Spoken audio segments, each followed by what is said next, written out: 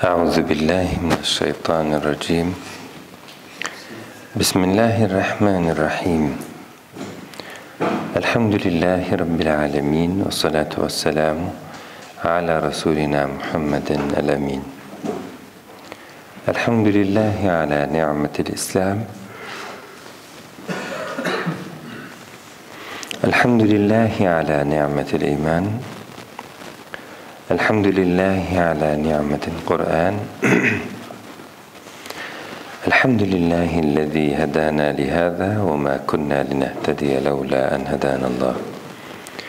لقد جاءت رسل ربنا بالحق. صلوا على رسولنا محمد.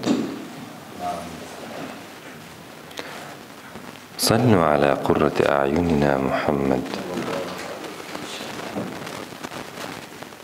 اللهم صل على رسولنا محمد وعلى آل رسولنا ونبينا محمد. بعدد كل داء ودواء وبارك وسلم عليه وعليهم كثيرا.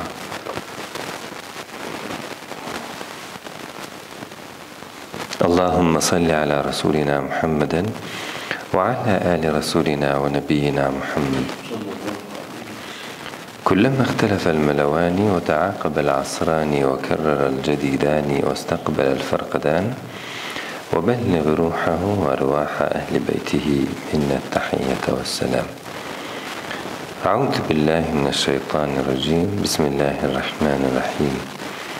رب اشرح لي صدري ويسر لي أمري واحلل عقدة من لساني يفقه قولي.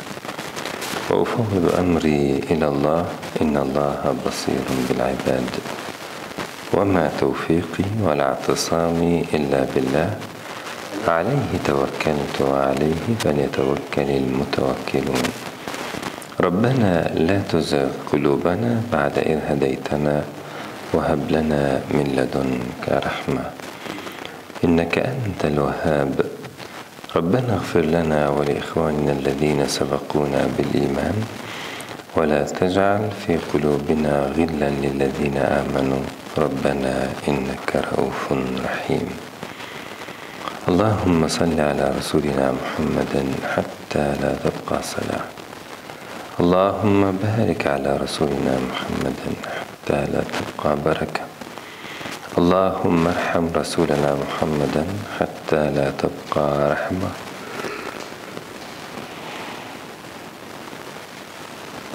اللهم سلم على رسولنا محمد حتى لا يبقى سلام.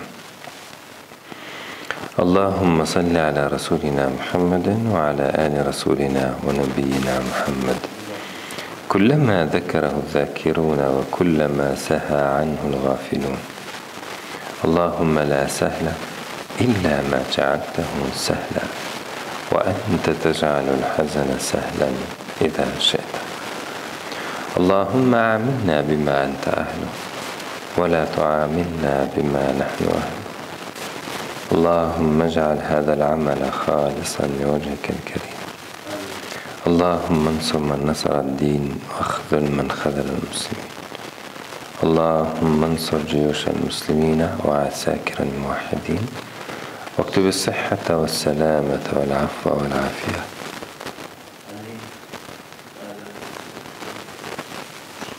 علينا وعلى الحجاج والغزاة والمسافرين في برك وبحرك من أمة محمد أجمعين. اللهم أخلصنا بخالصة ذكر الدار. وجعلنا عندك لمن المصطفين الأخيار اللهم أخلصني بخالصة ذكر الدار. واجعلني عندك لمن المصطفين الأخيار رب زدني علما وألحقني بالصالحين. رب زدنا علما وألحقنا بالصالحين. ربنا آتنا من لدنك رحمةً وهيئ لنا من أمرنا رشدا. اللهم ربي إني لا أحصي ثناء عليك فأنت كما أثنيت على نفسك ولا حول ولا قوة إلا بك يا رب العالمين.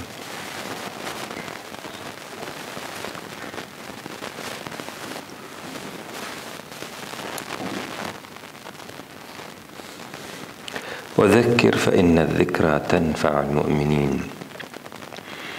وذكر بالقرآن من يخاف وعيد. وأما بنعمة ربك فحدث.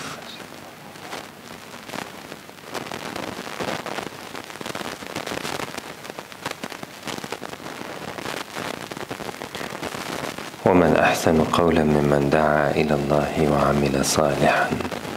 وقال إنني من المسلمين. لقد من الله على المؤمنين إذ بعث فيهم رسولا من أنفسهم يتلو عليهم آياته ويزكيهم ويعلمهم الكتاب والحكمة وإن كانوا من قبل لفي ضلال مبين. أعوذ بالله من الشيطان الرجيم. بسم الله الرحمن الرحيم. İmam Buhari'nin sahihini okumayı sürdürüyoruz. En son kaldığımız bab başlığı bu El Medinetu tenfil habetha Medine kiri uzaklaştırır. Şeklinde bir bab başlığıydı. En son kaldığımız hadis numarası 1786. Haddesena Abdullah İbni Muhammed'in bize Abdullah bin Muhammed anlattı. Haddesena Vahb ibn Cerir'in bize Vahb bin Cerir anlattı. Haddesena Abi bize babam anlattı. Semi'atu Yunus'a Yunus'u işittim. An İbn Şihab'in o da İbn Şihab'tan. An Enes'in radıyallahu anhu o da Enes radıyallahu anh'tan. Anin Nebi sallallahu aleyhi ve selleme kâle. O da Nebi sallallahu aleyhi ve sellem'den dedi ki Allahümme ceal bil medineti da'fey ma cealte bi Mekke'te minel bereketi. Allah'ım Medine'de Mekke'de var ettiğin bereketin iki katını var et diye bir dua bu. Resulullah sallallahu aleyhi ve sellemin böylece Medine'ye duada bulunduğu, Medine için dua ettiği anlaşılıyor. Bu bir bereket duası. Bu duayı Resulullah'tan Tebahu Osman ibn Umar'a an Yunus'a Osman bin Ömer, o da Yunus'tan mutabaatta bulunmuş. Sıradaki hadisimiz 1787 nolu hadis. Haddesena Kuteybetu, bize Kuteybe anlattı. Haddesena İsmail ibn Cafer'in, bize İsmail bin Cafer anlattı. An Humeydin, o da Humeyd'den. An Enes'in radıyallahu anhu, o da Enes'ten. Allah kendisinden razı olsun. Enne Nebiye sallallahu aleyhi ve selleme Nebi sallallahu aleyhi ve sellemin kâne izâ kadime min seferin bir seferden döndüğünde فَنَظَرَ ila جُدُرَاتِ الْمَد۪ينَةِ ve Medine'nin duvarlarını, binalarını gördüğünde herhalde ilk gördüğünde اَوْدَعَ رَحِلَتَهُ bineğini oturtur veya avda rahiletehu hızlandırır bineğini.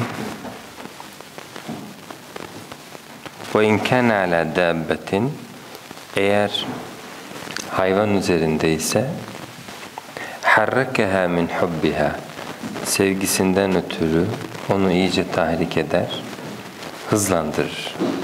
Bir an önce Medine'ye ulaşmak için 1787 nolu hadisti bu. Ve bab başlığı altında toplamda geçen derstekilerle beraber dört tane hadis okumuşuz. Sıradaki bab başlığımız Babu kerahiyetin nebiyyi sallallahu aleyhi ve selleme en tu'ral medinetu Nebi sallallahu aleyhi ve sellemin Medine'nin boşaltılmasından hoşlanmaması. 1788 nolu hadis. Haddesena ibn Selam'in bize İbn Selam anlattı. Akhbarana el-Fezari bize el-Fezari haber verdi. An Humeydin et-Tavili o da Humeyd et-Tavil'den an Enes'in o da Enes'ten radıyallahu anhu Allah kendisinden razı olsun. Kale dedi ki Arada benu selemete en yetehavvelu ila kurbil mescidi. Selemoğulları mescide yakın bir yere intikal etmek istediler. Fekeriha Resulullah sallallahu aleyhi ve sellem en tu'ral medinetu. Bunun üzerine Resulullah sallallahu aleyhi ve sellem Medine'nin Beylerbeyi boşaltılmasından hoşlanmadı. Ve kâle o kişilere dedi ki Ya beni selamete ey seleme çocukları ey seleme oğulları Ela tehtesibune âthârakum Sizler ayaklarınızı yani adımlarınızı saymıyor musunuz? Bunlar için Allah'tan sevap ummuyor musunuz? Demiş feakamu. Onlar da bulundukları yerde ikamet etmeye devam etmişler. Hadisten anlaşıldığına göre Resulullah sallallahu aleyhi ve sellem Medine'nin bir başında oturan kimselerin yerlerini yurtlarını bırakıp mescidin dibine taşınmayı düşünmüş olmalarına karşı çıkmış. Ama Başkan'dan tersi olmuyor. Neden boşaltılmak yerine Medine'ye geliyor. Gayet Yani işte bir tarafını boşaltıp bir tarafına geçiyorlar ya. Demek ki o şeyinin bozulmasını istemiyor Resulullah. Mescide yürüyerek gelin diyor. Eğer mescit etrafına herkes hareket etse taşınsa bu kez işte belli yerleri boşalacak demek ki. Kendi şehir şeyi bozulacak. Kurulduğu plan. Bir de başka bir sebep değil de yani Medine'nin boşaltılması sebebiyle Hazreti Enes radıyallahu anh Yok onu Buhari başlık atmış öyle. Hadisin içinde vardı ya. Hmm, hadiste de geçiyor, evet. Hadiste de geçiyor. Evet. Yani Hazreti Enes'in yorumu mu yoksa Onun yorumu hoşlanmadı bundan diyor. Ve adımlarınız sayılıyor diye tepki gösterdi onlara. şey? Allahu alem. Bilmem. Geleceğe yönelik müstahaklı bir plan projesi var. Bir de Barış'ın arasında bir rahat bir bölümü var mı? He? Bu hadisim mi? Olabilir tabi. Buhari, Müslim hadislerinin çoğu zaten mevcuttur. Hemen hemen bütün hadis koleksiyonlarında.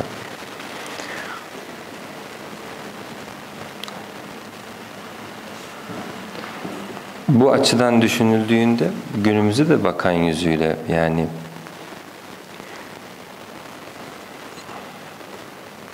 buradakiler kötü bir şey yapmak istememişler. Caminin dibine taşınmak istiyorlar. Oradan yer alıp evet, ev almak istiyorlar oradan. Resulullah da onlara adımlarınız sayılıyor.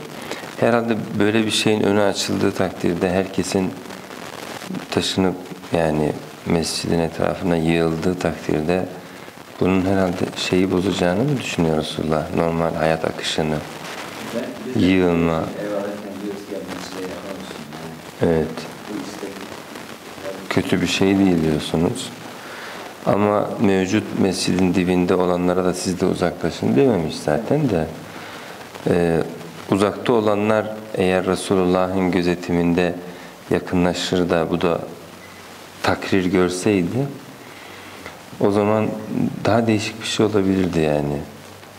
Mescitten uzak, mescide taşınmak, mescitten uzakta bulunmamak gerekir. Yani Resulullah zamanında o mescit yapınca herkes mescidin dibine taşındı. Resulullah da bunu gözlemledi, hiçbir şey demedi yani onayladı. Gibi bir durum ortaya çık- çıkabilirdi.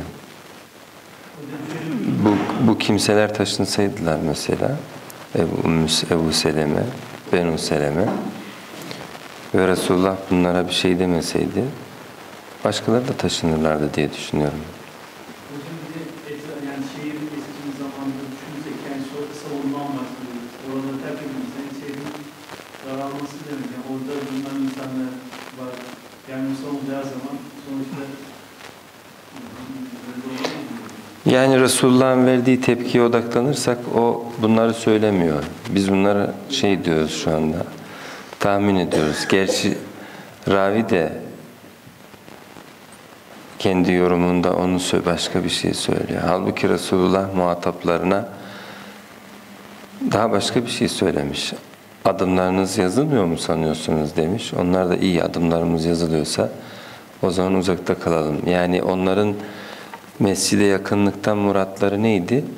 Allah Azze ve Celle'yi daha çok memnun etmek, daha çok sevap kazanmak, mescide, camide yakın sılada bulunmak. Resulullah da onlara buna benzer bir şeyden bahsediyor. Adımlarınız yazılıyor diyor. Yani daha çok sevap kazanıyorsunuz uzaktan gelip gitmekle. Onlar da iyi o zaman demişler. Yani sıradaki hadisimiz 1789 Haddetena Museddetun bize Müseddet anlattı. An Yahya o da Yahya'dan. An Ubeydillah İbni Umar'a o da Ubeydullah bin Ömer'den.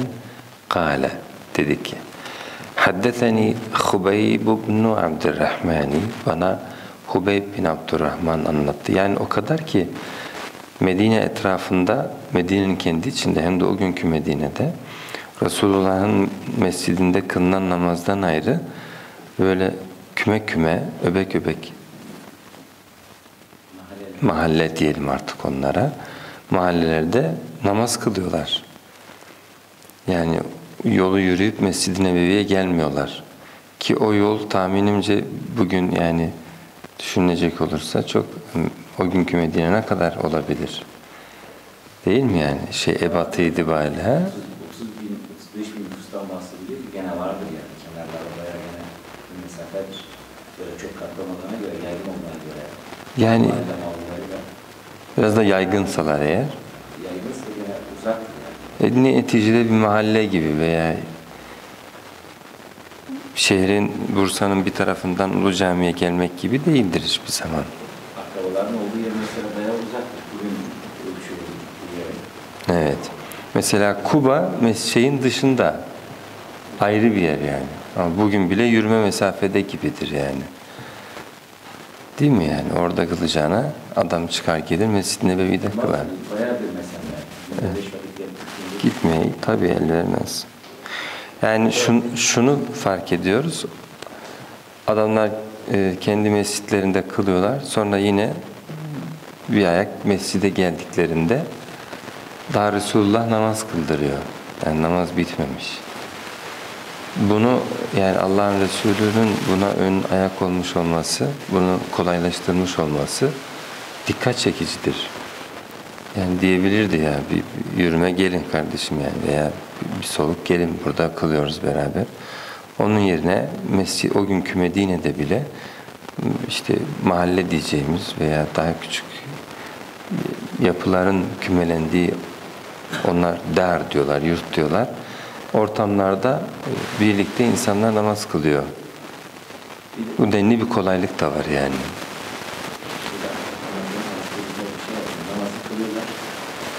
Ama gene mescitte. Evet. Buradan da gelip orada toplanırlar. Bizimki, İçtima yeri yani.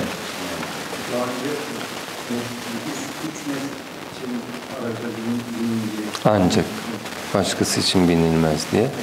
Yani Mescid evet Mescid-i Hara Mescid-i Nebevi'nin böyle de bir yönü olmasına rağmen yine o günkü şeyde etraflarda namaz kılınabiliyor. Hem de mescitte namazı kıldıran Resulullah olmasına rağmen etrafta birileri namaz kılıyorlar kendi e, başlarına. Konu açılmışken hocam hemen mescidelerin yanında kalitelere atfedilen mescitler var ve onlar hemen hemen şimdiki mescidin avlusunda gibiler. Onlar da e, yani şey için mi yapılmış? Eğer yapılmışsa çok yakın yerler. Nerede bugün? Ver mescidi, Hazreti Ali'nin yaptığını söylediği mescitler var. tren. E, çok yakın değil orada yine işte bir mesafe var. Şimdiki mescidin hemen avlusunun bitişi. E işte yani. E, şimdi mescidi çok genişlettiler ya. Yakınlar. İşte ben de diyorum ki o zamanlar da o dediğimiz mescitler hemen hemen öyle civardaydılar yani. Yani bugün bir mahalle, ben tahminimce bugün bir mahallenin yani sınırlarını aşmıyordu. Ama Allah'ın Resulü yani yaşanan dinin şeydeki yani kolaylık boyutu bu denli on, onlara rahatlatılmıştı yani. İnsanlar kendi bulundukları muhitte kümeleniyorlar. Hemen orada kılıyorlardı namazlarını. Resulullah'ın başında bulunduğu u toplumda. Kale dedi ki haddeteni Hubeyb ibn Abdurrahmani bana Hubeyb bin Abdurrahman anlattı.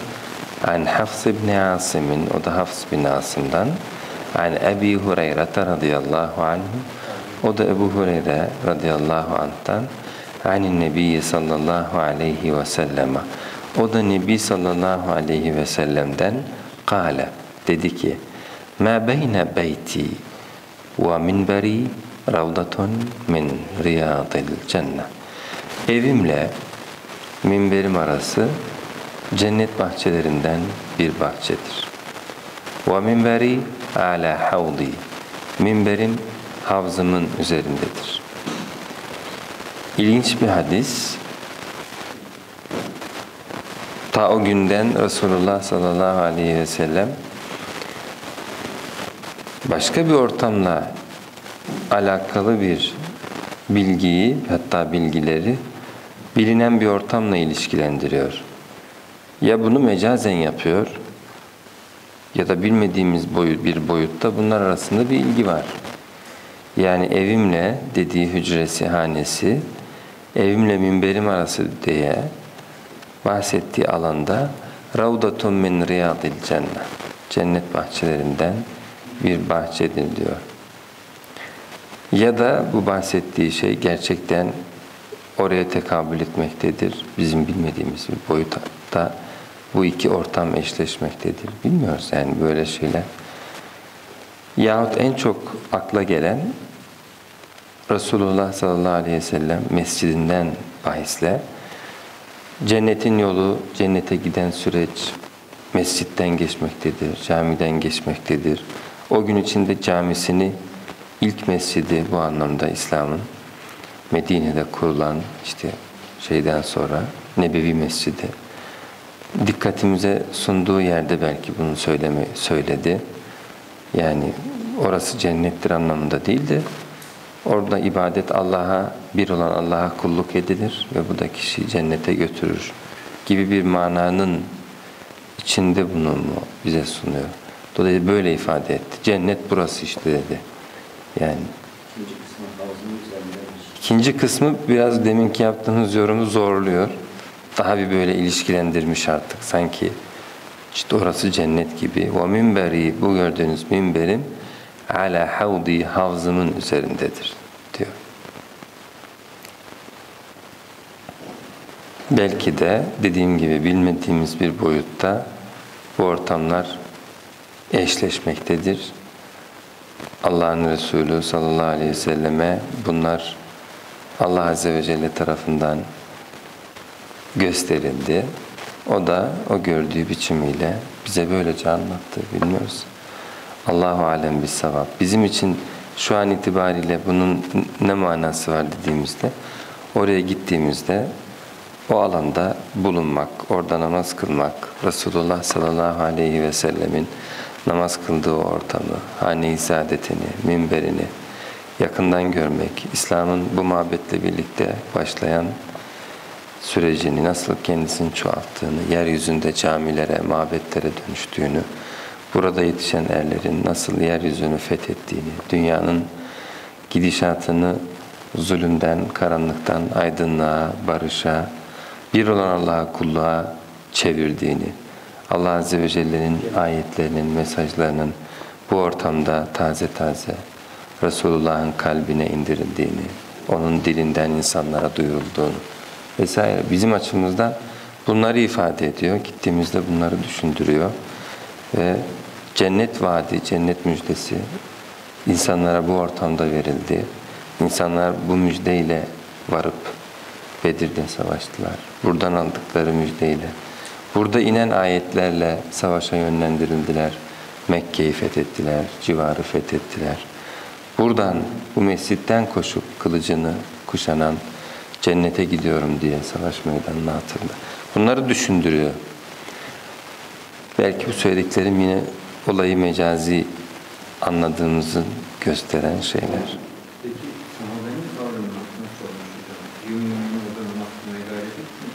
Zaten mescit o kadardan ibaretmiş yani neredeyse o günkü mescit. Dolayısıyla öyle bir şey e, o gün açısından yok yani. İnsanlar oraya girmeye çalışırdı falan diye bir şey bilmiyorum. Sonraki hadis. 1790 nolu hadis. Haddetena Ubeydullah Ubeyd ibn İsmail. Bize Ubeyd bin İsmail anlattı. Haddetena Ebu Usame'te bize Ebu Usame anlattı. An Hişam'in o da Hişam'dan. An ebihi o da babasından. An Aişe radıyallahu anha o da Aişe'den.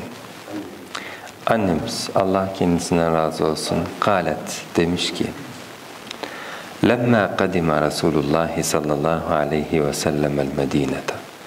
Resulullah sallallahu aleyhi ve sellem Medine'ye gelince Vu'ike Ebu Bekir'in Ebu Bekir hastalandı radıyallahu anh ve Bilalun ve Bilal hastalandı.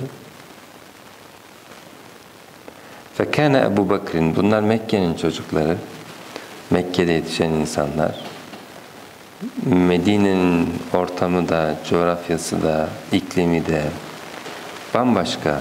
Allah Azze ve Celle onlara sadece Mekke'den ayrılmak zorluğunu yaşatmamış. Bir de gittikleri yeri yabancılamışlar.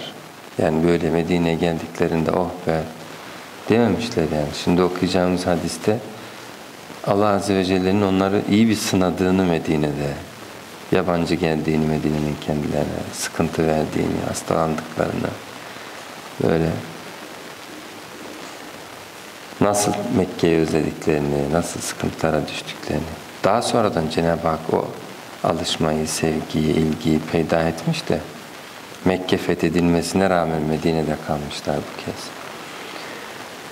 Medine'ye geldiğimizde diyor Hazreti Ayşe Vu'ike Ebu Bekir'in. Ebu Bekir hastalandı babası radıyallahu anh. O Bilal ve Bilal. فكان أبو بكر إذا أخذته الحمى يقول Ebu Bekir'i humma sardıkça yani ateşli bir hastalık sardıkça, nöbeti geldikçe, ateş yükseldikçe artık demek ki biraz da şey zayıflıyor, şuur başlıyormuş şiir söylemeye. Kullu mri'in musabbahun fi ahlihi. Herkes ailesinin yanında sabahlıyor. Yani yurdunda, memleketinde. Ee. Vel mevtu edna min şiraki. Halbuki ölüm ayakkabısının bağından kendisine daha yakındır.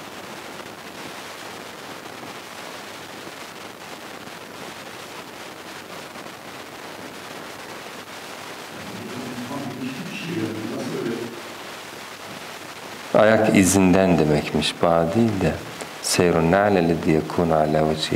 Nasıl dedin abi? Yani işte ateş bastırmış artık o arada bilinçli tabii ben demiyorum bilinçsiz de yani özlemlenden söylüyor.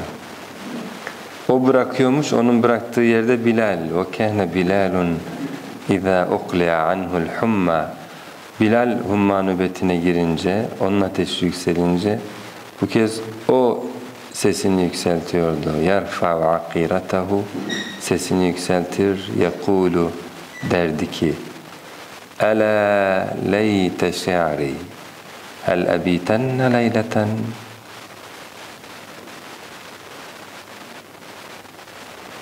Keşke bir daha hissetsem. Bir gece daha geceleyebilir miydim? Bir vadin bir vadideki ve havli izhirun ve celilu. Etrafımda izhir otlar olsun, celil otlar olsun. Bunlar Mekke'nin otları. Hani İbn Abbas radıyallahu anh Hazreti Resulullah Mekke'yi tahrim edince, haram ilan edince, dokunulmaz ilan edince diyor izhir hariç olsun. İzhir biz işte demirciler kullanıyor, işte şunlar da şurada kullanılıyor. Mekke'de bulunan bir ot çeşidi izhir. Şeyde Bilal radıyallahu anh da yani keşke bir daha o vadide gecelesem diyor. Etrafında eskir otları, celil o. Celilu celil dedikleri de bir dağ herhalde. Yok. O da nev'un minen nebati. O da bir çeşit bitkiymiş. Hmm. تعبت ميت عزيز بلال نشيلي وهل أردنا يوما مياه مجنة؟ مي بيجن بدها جدار مي ما جبا مجنة سويش مياه. وهل يبدون لي شامة وطفيلة بير جرور مي ما جبا شامي طفيلة مياه مجنة دي ماء عند عكاظ قريبا من مكة. Ukaz bölgesinde Mekke'ye yakın bir yerdeki bir suymuş. Bir daha görürüm gibi yerim. Bir daha görür müyüm dedi. Şame ve Tufeil cebelani ala nehvi 30 milen min Mekke'te. Mekke 30 mil mesafede iki dağmış.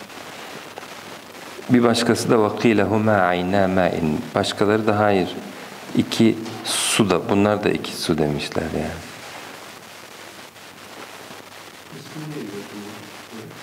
Hangisi? Şame ve Tafil mi? Şame. Şame Dağı, Tafil Dağı. Şimdi o vadi diyor ya Cenab-ı Hakk'ın sözünde Hazreti İbrahim Rabbena inni eskentu min zürriyeti bi vadin gayri zi zer'in Cenab-ı Hak diyor ki ekin olmayan bir vadide Hazreti İbrahim diyor.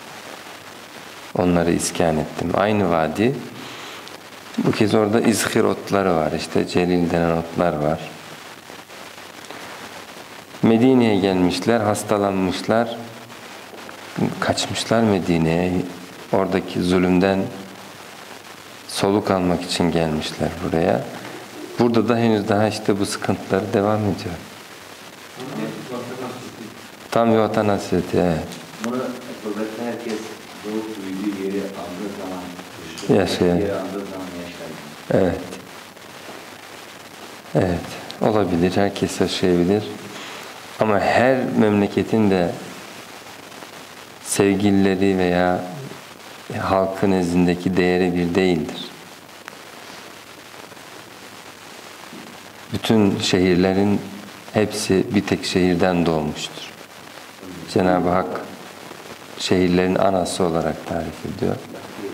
O yüzden evet herkeste şehrine karşı bir şey vardır ama herhalde şehirlerin anasının sakinlerinin oraya olan tutkusu hepsinden daha ileri olsa gerek. Şehirlerin anası, şehrin kendisi öyle.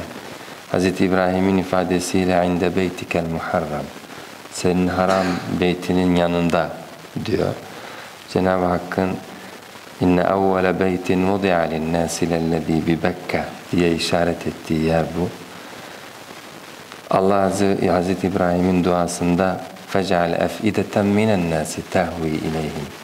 İnsanlardan bir kısmının gönlünü oraya yönelt de çıkıp gelsinler dediği. Dolayısıyla insanların gönlünün oraya aktığı.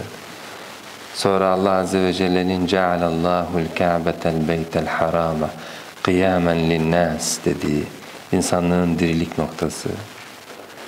O sebeple apayrı yani daha bambaşka bir nokta orası. Zaten Bilal aslen de oralı değildir.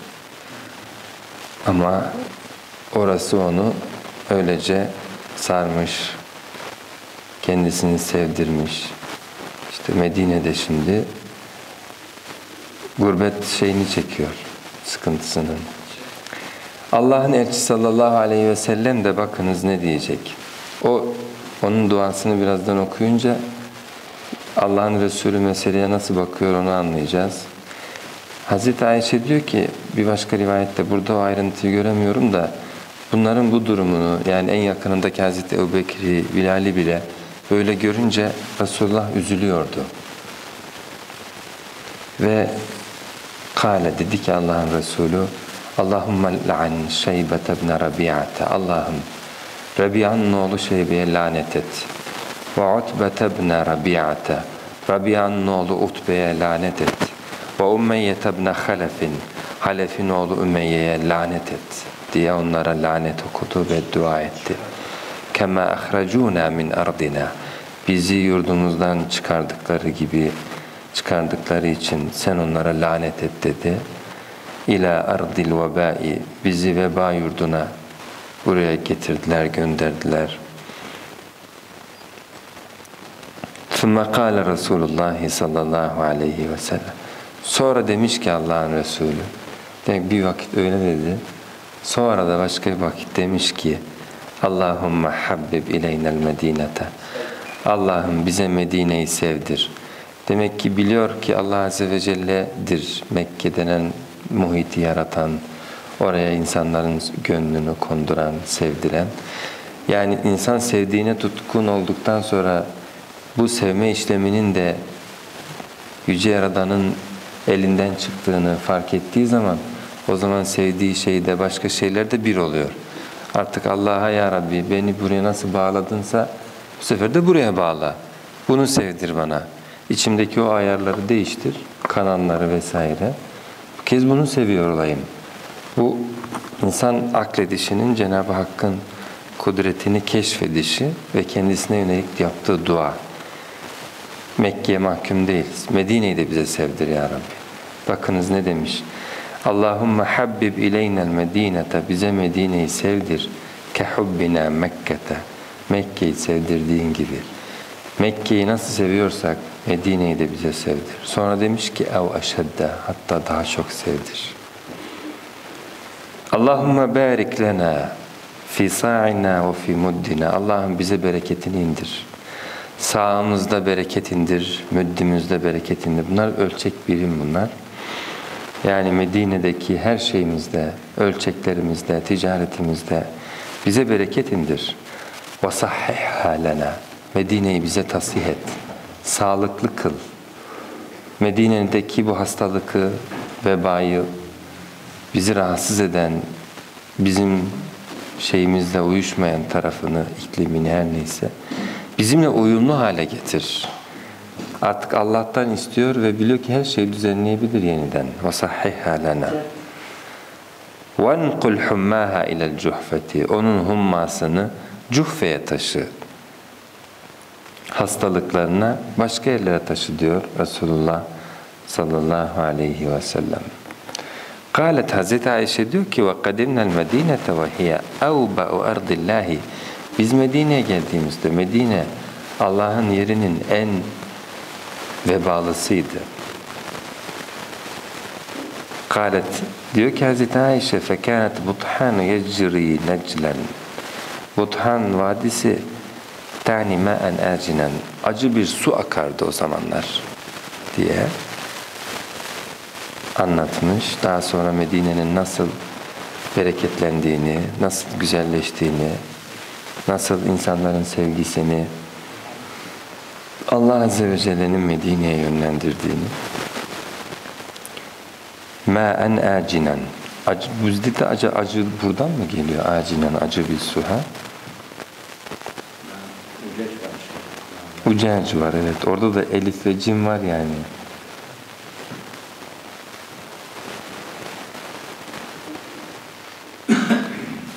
Evet.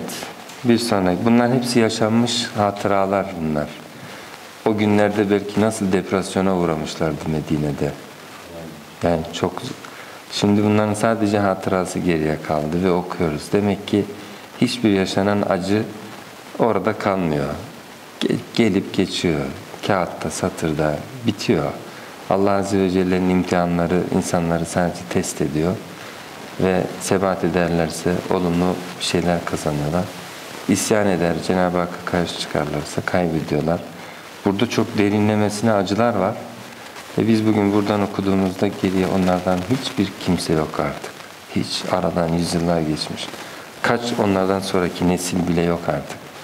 Ama o, yaşa, o yaşanan acıları gidin onlara sorun. Ciddi ciddi, derin derin acılar yaşamışlar. Burada bu hadiste bunu görmek, mülaza etmek mümkün. Tabii bir gurbet gibi değil yani. Burada yani evini barkını bir yerde bırakıp başka bir yerde işe çalışmaya gitmek gibi de değil.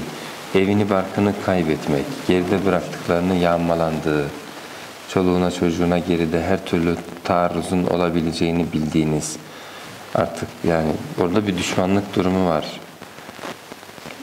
Daha çok daha zor öte bir şey evet. Evet. Evet. Canlarını kurtaran kaçıyor. Yakalananlar, peşine peşi kovalananlar ki Resulullah da böyle peşini kovaladılar. Yakalasa öldüreceklerdi. Böyle bir şey yani bu. Sonrasında üstelik bilmiyorsunuz Medine'de ne olacak.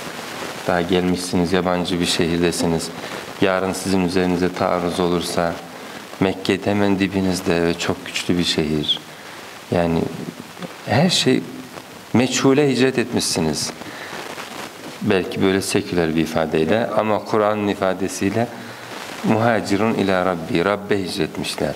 Allah Resulullah öyle diyor ya وَمَنْ كَانَتْ هِجْرَتُهُ اِلَى اللّٰهِ وَرَسُولِهِ Kimin hicreti Allah'a ve Resulüne idiyse Allah'a güvenip yola çıkmışlar. Ama şeytan bırakıyor mudur onlara? Sürekli geliyordur, söylüyordur. Yarın ne olacak, yakında ne olacak, burada ne olacak? Parasız, pulsuz bu insanlara da yük oluyoruz. Çok sıkıntı var burada. Yaşatmış. Ama beklettikten sonra evet, yok epeyce bir yani nefesle veya zaman burada önemli değil. Önemli olan yaşanan travmanın büyüklüğü yani. Bir sonraki hadisteyiz.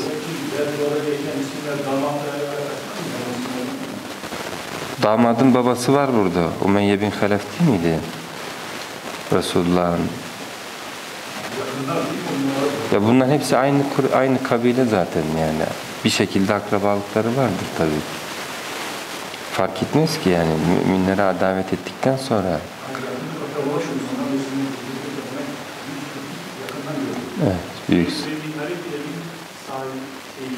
Eski efendisi. Evet. Hmm. İşte azalı İslam düşmanları. 1791 nolu hadisteyiz. Bunları hangi başlık altında bize veriyor İmam Buhari? Medine'nin boşaltılmasının veya işte şey yapılmasının hoş olmaması. Yani işte geri gitmeyerek, Medine'de kalmayı sürdürerek falan mı artık? Bunlar hani Mekke'ye özlem duyuyorlar ya gitmek için falan. 1791 nolu hadis. Haddesena Yahya bin Bukeyrin. Bize Yahya bin Bukeyr anlattı. Haddesena Leyth bize El-Leyth anlattı. An Halid ibn Yazid'e o da Halid bin Yazid'den. An Said ibn Ebi Hilal'in o da Said bin Ebi Hilal'den. An Zeyd ibn Esleme o da Zeyd bin Eslem'den. An Ebihi o da babasından. An Umar'a radıyallahu anhu o da Ömer'den. Allah kendisinden razı olsun. Bu kez Rabbimiz Hazreti Ömer kâle demiş ki Allahümme rzuqni şehadeten fi sebilik. Allah'ım bana senin yolunda şehadet nasip eyle. Ceal mevti fi beledi rasulik. Ölümümü de Resulünün şehrinde eyle. Sallallahu aleyhi ve sellem. Kâle İbn-i Zürey'in, İbn-i Zürey de dedi ki, yani Ruh İbn-i Kasimi, o da Ruh bin Kasım'dan, An Zeyd ibn Esleme, o da Zeyd bin Eslem'den, An Ebihi, o da babasından, An Hafsata binti Umar radıyallahu anhuma. O da Hafsa'dan, Ömer'in kızı, Allah her ikisinden de razı olsun, Kalet, demiş ki, Semi'atu Umar'a nahvahu, ben de Ömer'den benzeri şeyler duydum. Ve kâle Hişamun, Hişam da demiş ki, an Zeyd'in, Zeyd'den, an Ebihi, o da babasından, An Hafsata, o da Hafsa'dan annemiz. Semi'tu Ömer'a radıyallahu anhu Ömer radıyallahu anh'ı bunu söylerken işittim.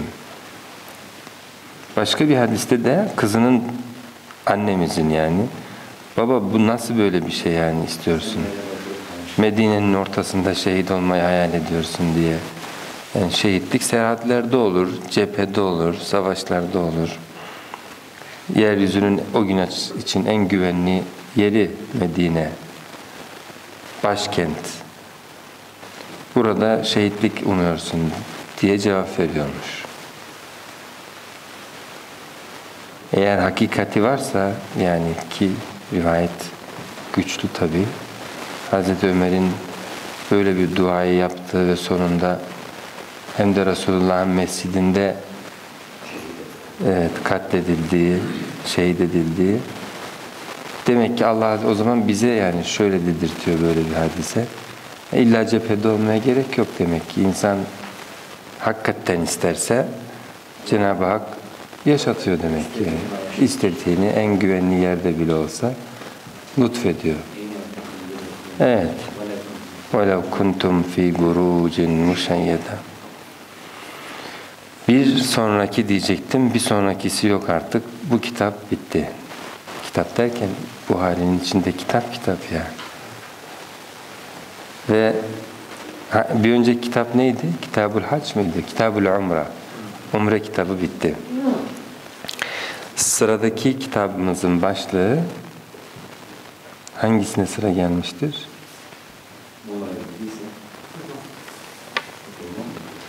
Yine de bir şekilde diyorsunuz hacla ilişkilidir yani. Hayır. Belli ki hac konusu, umre, kurban o işler tamamen bitti. Kitab-ı Savmi. Oruç kitabı. Kitabın başında olduğumuzun yani savunun başında ilk hadisleri okuyacak olmamızın kıymetini bilin. Sona doğru eminim yine içiniz dışınız oruç olacaktır. Ne zaman bu oruç bitecek diye. He? Bilmiyorum artık. Kitab-ı Savmi. İmam Buhari bu kez bize orucu anlatacak. Bab başlığına bakıyoruz. Tahmin ediyorum ki tahmin edersiniz bab başlığını. Babu vücubi savmi Ramazana ve kavlillahi Teala. Ramazanın vücubu babı, Ramazan orucunun vücubu, vacip oluşu. Şafiiler vacip kelimesini farz anlamında kullanıyorlar. Vacip oluşu, babı ve kavlillahi Teala ve Allah Teala'nın şu sözü. İmam Buhari çok seviyor. Eğer konuyla ilgili ayet varsa bab başlıklarını ayetten seçiyor. Estaizu billah ya eyyühellezine amenu kutibe aleykumus siyamu kema kutibe alellezine min qablikum leallekum tettekun Ey iman etmiş olanlar! Oruç size farz kılındı. Oruç sizin üzerinize yazıldı. Kema kutibe alellezine min qablikum. Sizden öncekilerin üzerine yazıldığı gibi. Niçin? لَعَلَّكُمْ تَتَّقُونَ Böylelikle siz sakınasınız. Gerekti ki siz sakınasınız. Yani demek ki savun süreci sakınmaya yol açıyor. Sakınabilmeye yol açıyor. Bu ayeti ele aldığımızda da demiştik. Ama ders aldık mı, ibret aldık mı? Nerede? Sakınabilmekte zafiyet gören kendisinde kimseler. Bu herhangi bir günahta olabilir yani. Sadece belli günahlarda değil. Kendi sakınımında, Cenab-ı Hakk'ı gözetmesinde kendisini zayıf bulan kimseler bu zayıflıklarını güçlendirmek istiyorlarsa Allah Azze ve Celle'den bu konuda muvaffakiyet diliyorlarsa o zaman Cenab-ı Hakk'ın bu ayette sakınabilirsiniz diye verdiği anahtara sarılmalılar. Yani oruca. Oruç ibadetinde bulunan kimselerin Cenab-ı Hak inşallah sakınımlarını, onu hayatlarında daha fazla gözetmelerini yani emirleri ve yasakları münasebetiyle gözetebilmelerine, gözetebilmeleri hususunda onları muvaffak kılar. Belli ki burada onu vaat etmiş. En azından böyle bir niyetle kişinin oruç tutması Cenab-ı Hakk'ı takvamı artırmak istiyorum diye Allah Azze ve Celle böyle buyuruyor diye. Bu çok açık bir şey olur Allah katında. Bu sakınmayı genelde şöyle anlıyordum ben daha işte fiziki olarak zayıflattığı için arzulara giren oluyor gibi. Ama bir yönüyle düşündüğümüz zaman kişi o anda ibadet üzere olduğu için ibadet yani ibadet üzere yaşadığı için gün boyu e, ibadetteki kişinin davranması gerektiği gibi davranması. Evet. Yani artık ondan sonrasını çok iyi bilmeyiz. O tür yorumlar çok isabetsiz de olmayabilir. Ama meselenin meseleyi bütünüyle öyle bir yoruma indirmek de haksızlık olur. Yani işte vücut zayıf düşüyor da zayıf düştüğü için artık e, meniyata bakacak mecali kalmıyor. İşte günaha meyledecek mecali kalmıyor. Bana çok yani çok isabetli gelmiyordu. Mesela gençliğimizde de oruç tutuyorduk işte hani hocalar böyle söylüyordu falan. Sonra bakıyordum hiç de öyle değilim yani. Ee, böyle bir hani dermansız kalayım işte günaha bakmayacak kadar falan. Acaba diyordum bunların tuttukları oruç gözlerini açamayacak kadar dermansız mı bırakıyor bunları? Dolayısıyla burada olmayan yani Allah Azze ve Celle'nin söylemediği bir şeyi biz yorumla ayete giydirdiğimizde sonra bir başkası ya ben de öyle olmuyor falan diye itiraz etmeye başlıyor. Onlar insanların yorumları, kendi tecrübeleri, deneyimleri biz bilmiyoruz. Cenab-ı Hak öyle bir şey söylemiyor. Sadece Allah Azze ve Celle oruç tutmanın kişinin takvası, takvası için bir anahtar olduğunu söylüyor. Bu onu zayıf düşürerek mi olur? Dediğiniz gibi sürekli ona ibadet gerçeğini hatırlatarak mı olur? Sizin söylediğiniz yorum daha iyi. Yani Allah Azze ve Celle'yi kişi hatırında tutarsa, gafletten daha o kadar uzak olursa daha çok sakınımlı olur. Allah Azze ve Celle'nin e, hatırında bulunması onu günaha meyletmek hususunda daha caydırıcı olur. Oruç gün boyuna kesintisiz devam ettiği için her an açsınız. Tıpkı şimdi aç olduğumuz gibi birazdan çorba içeceğiz. Geliyor sürekli çünkü aklınıza yemek yiyemiyorum. Allah Azze ve Celle'ye karşı inni nezertu lirrahmani savman diyor ya Hazreti Meryem ben bugün Rahman'a nezrettim bir orucu felen ukellimel yevme insiyya kimseyle konuşmayacağım. O her an üzerinde olan bir hal. O sebeple de bu niyetle olursa bir defa o bence artık duaya dönüşür. Hazreti Yusuf'un gibi ki gibi yani. Ya Rabbi ben bu yönümle baş edemiyorum. Şimdi bu günümü nezrediyorum sana oruç olarak. Maksadım da bu konuda beni muvaffak kılman. Artık sana karşı saygısızlıklardan uzaklaşmak, bu saygısızlıklarımı azaltmak istiyorum. O zaman bence o gün boyunca akşamına değin o oruçlu hali Allah Azze ve Celle'nin katında hep dua hali gibi olur. Kulum niye oruç tutuyor bugün biliyor musunuz? Şu günah hususundaki zafiyetinden ötürü bana karşı mahcup, bu mahcubiyetini e, bu mahcubiyetinden artık kurtulmak, bana karşı saygısızlığını daha fazla icra etmemek için e, benden yardım diliyor. E Rabbisi var, Rabbi var, Rabbinden yardım istiyor. Hakkı var tabii ki kulumun bunda. Bakınız oruç tutuyor. Bu yani böyle değerlendirmek daha doğru bence. Böyle buradan kopmamak lazım. Allah Azze ve Celle'nin bu ifadesini İmam Buhari alıp Kitab-ı Savun'un başına koymuş. Demek istiyor ki bundan sonraki her hadisi okurken bu ayeti kerimedeki Esası evet hep aklınızda tutmalısınız.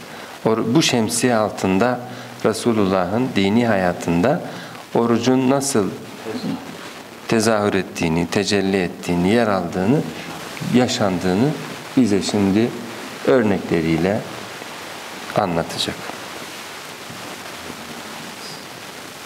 Amin. Diyorum ama vaktim Peki bir hadis okuyalım. 1792 nol hadis. Haddesena Kutaybe bin Sa'id. Bize Kutaybe bin Sa'id anlattı. Haddesena İsmail bin Cafer'in. Bize İsmail bin Cafer anlattı. An Ebi Suheyl'in. O da Ebu Suheyl'den. An Ebihi. O da babasından. An Talha bin Ubeydillahi. O da Talha bin Ubeydullah'tan. Enne Arabiyen bir Arabi, çölde yaşayan Arabi, Bedevi yani Câ'e ila Resulillahi sallallahu aleyhi ve selleme Resulullah sallallahu aleyhi ve selleme geldi. Fâira ra'si böyle başı dağınık. Rüzgar iyice dağıtmasın diye ne yapıyorlar? Sarıyorlar, şey diyorlar. Toz toprak olmasın diye. Güneş vurmasın diye ama sonuçta bir şekilde dağıtıyor. Fakale dedi ki Ya Resulallahi Ey Allah'ın Resulü Ahbirni bana haber ver Mâzâ faradallahu aleyye minas salati Allah Azze ve Celle namaz hususunda bana neyi farz kıldı? Yani yapmam zorunlu olanı istiyorum. Namaz millet kılıyor. Ama ne kadarını kılmam benim için farz? Fakale dedi ki as-salavatil hamsa beş vakit namazı illa en tetavva şey'en ama bunun ötesinde daha fazla namazı gönüllü kılarsın onlar ayrı fakat farzları soruyorsan Allah Azze ve Celle beş namazı sana farz kıldı.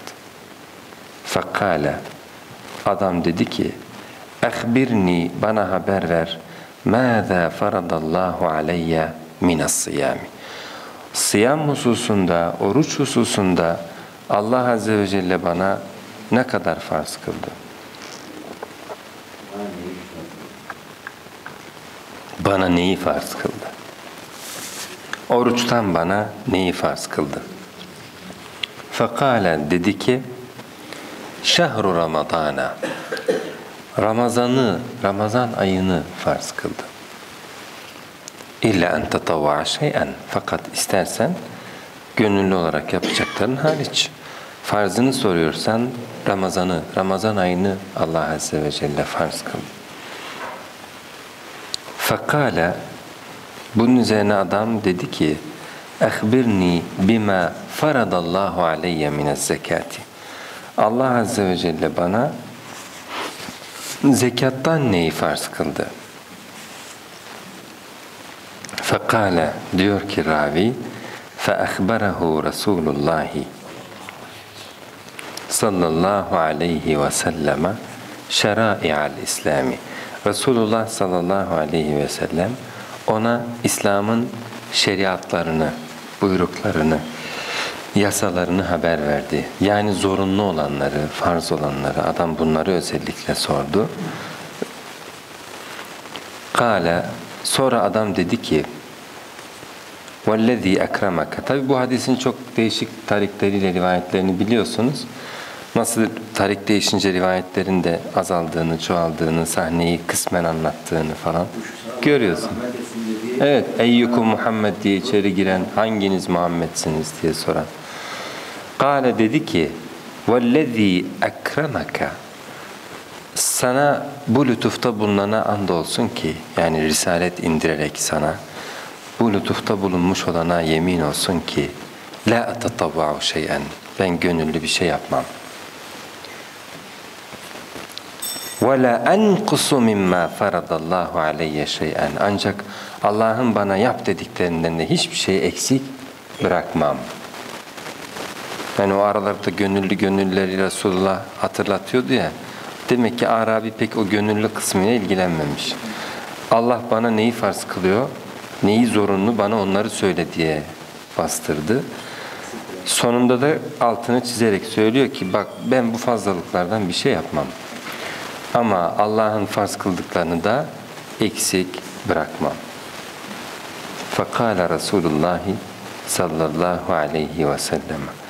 Bunun üzerine Resulullah sallallahu aleyhi ve sellem dedi ki efleha in sadaka. Eğer doğru söylediyse kurtuldu gitti. Ev dehalel cennete in sadaka. Veya ravi diyor ki cennete girdi gitti eğer doğru söylediyse diye.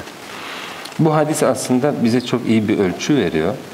Yani mesela çoğu ibadet hiç ibadet etmeyen kimseleri ibadete davet ederken öncelikle farzlar üzerinden davet etmek. Hatta çocukları bile başlatırken mesela önce farzlar üzerinden başlatmak, gönüllü olan ibadetleri onlara teşvik etmek, alışkanlıklarını geliştirdikçe teşvik etmek.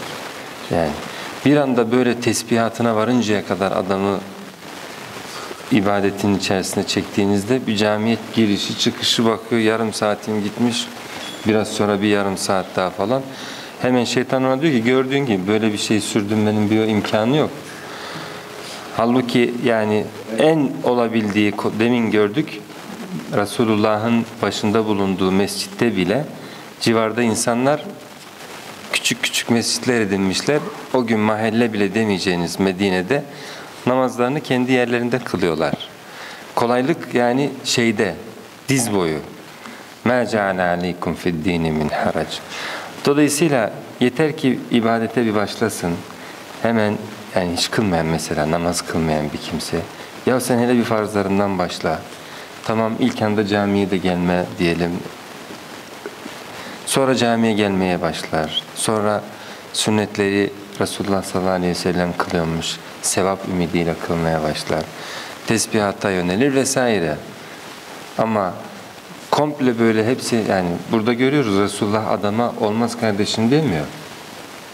Yani ne diyorsun ne kaba ne konuşuyorsun sen öyle pazarlık eder gibi şimdi bak falan gibi kızmıyor. Adama diyor ki kurtuldu gitti eğer doğru söylüyorsa. Kulu kavli hâzâ وأستغفر الله العظيم لي ولكم ولسائر المؤمنين. ربنا لا تؤاخذنا إن نسينا وأخطأنا. ربنا ولا تحمل علينا إصرا كما حملته على الذين من قبلنا. ربنا ولا تحملنا ما لا طاقة لنا به. واعف عنا واغفر لنا وارحمنا.